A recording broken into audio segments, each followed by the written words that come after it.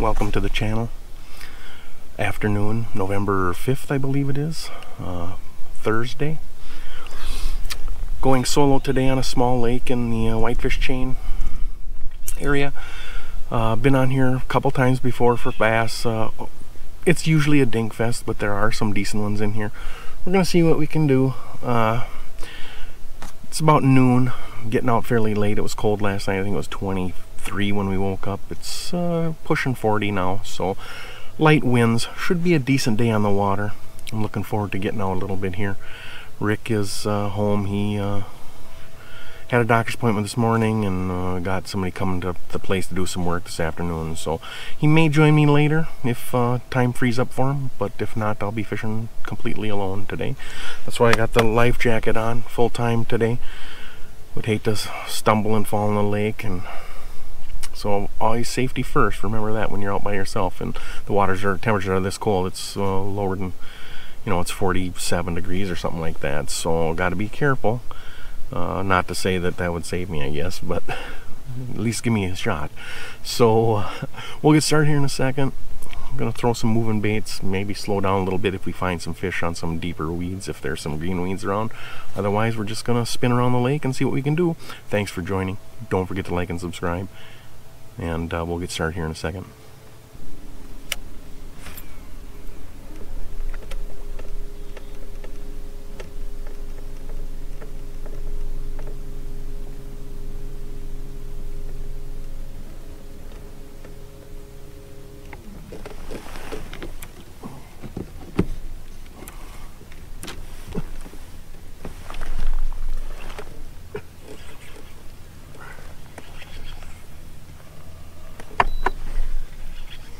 Keeper.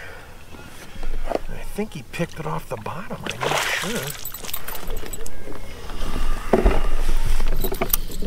He may have picked that off the bottom because I kind of stopped reeling and it plunged in there. I don't know, that's the first keeper for the day. That's an interesting sign.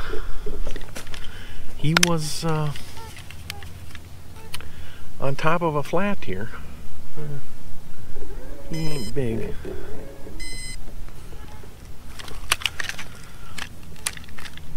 Keeper number one on a underspin.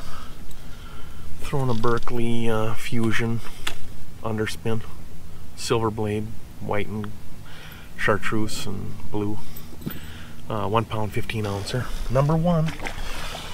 That's good. Been fishing about 15 minutes caught a couple of shorts and then that one. So maybe we can get something going here. It was really odd. I bent down to fix my cable here and it's like he hit it off the bottom. I'm not sure. Uh, we'll give it a shot here. Keep going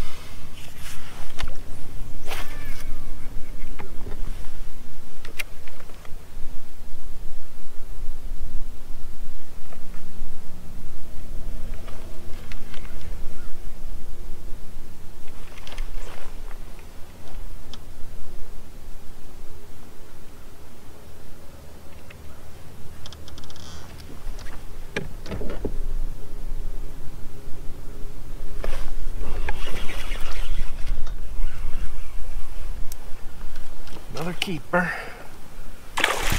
Yeah. A little better. That's a two pounder, I'd say. It's got some interesting, got a little black mark on his nose. Nice. That's fish number two. Same uh, bait. I broke one off over here on the hooks that the knot broke, and then when I retied, tightened the line, the line broke again. So I, a little nervous about that. Ah, cookie cutters, man. Cookie freaking cutters.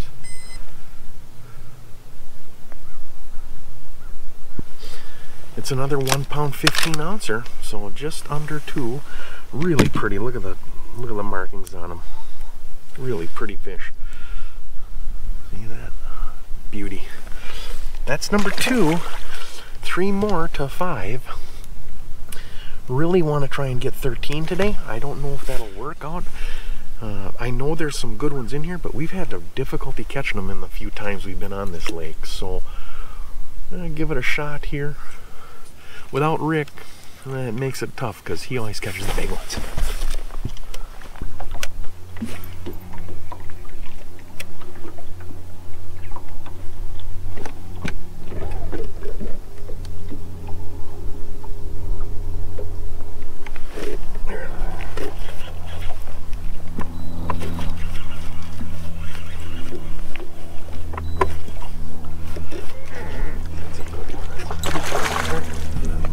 hold. Another pound 15. That looks like a two pounder.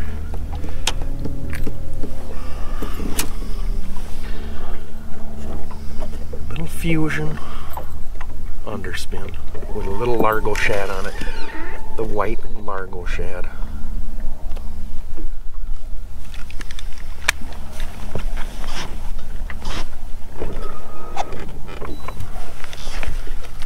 Let's see here. What do we got?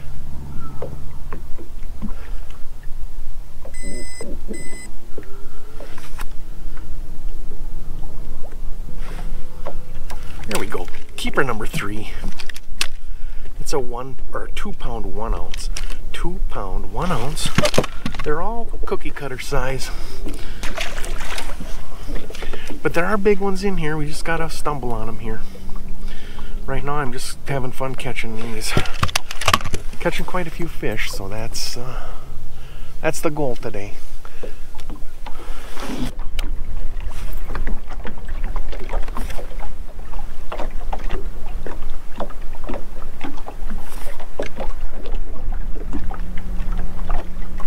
There's one.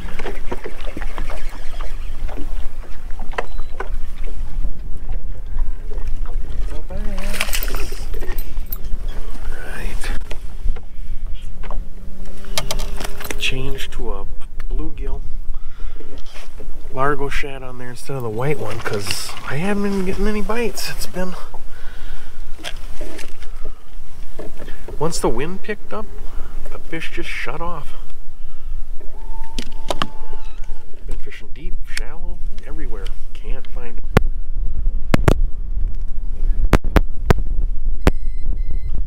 But that's number four.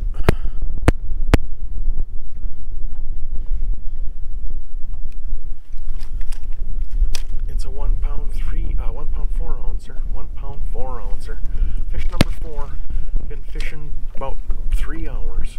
Got about an hour and a half left. Just need one more keeper, but I'd really like to try and get double digits today. I just don't know if I can do it. It's been so slow, but we're gonna keep trying.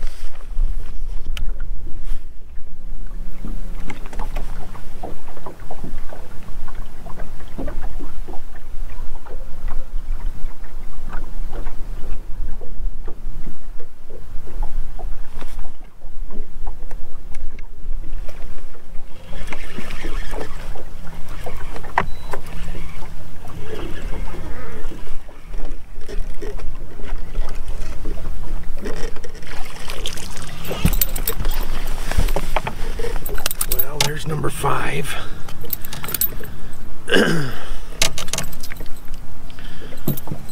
pound and a half, maybe, if that, pound seven.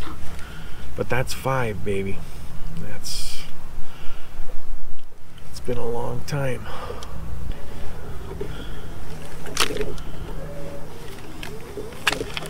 Fish number five, a one pound, 10 ouncer. 8.92 8.92 is where I'm sitting right now uh, I got a 1.4 that I'd really like to get rid of. And obviously that 110 I'd like to get rid of as well. I'd like to get a couple of two pounders but we'll see how it goes. I got five though so that's uh, success for me today I think. Let's see if we can get a see if we can get another good one.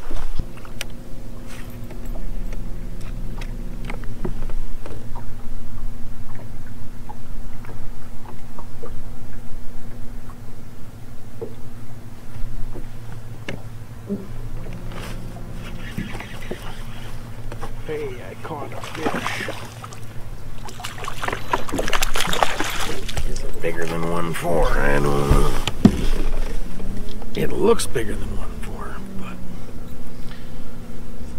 I don't think it is. But I got a cull for God's sakes, that's amazing.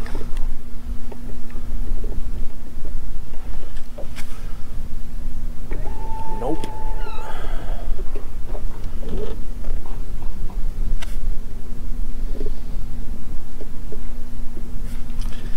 It's a 1-4. So that's going to do it for me today in this uh, Whitefish Chain Area Lake. Ended up with the uh, 8.92, just could not get much going.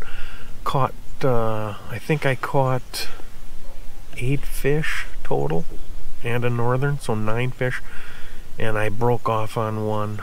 Uh, must have been my my line must have had a nick in it uh, broke off on the uh, hook set it looked like the knot broke but uh, then when I retied and and cinched up the line broke again so the line must have been weak I'm, I'm not sure what happened but uh, who knows what that could have been so uh, pretty feeble effort but hey I caught five and it was a beautiful day on the water pretty nice out a little chilly with the wind but once the wind started blowing the fish just shut off. I caught a couple late in a kind of protected pocket. Uh, uh, but man, I tried deep, I tried shallow, I tried everywhere. The weed line is 21 feet deep, still just lush green weeds, but it doesn't start until about 12 or between 12 and 14. So everything shallow's dead, everything's deep, looks great.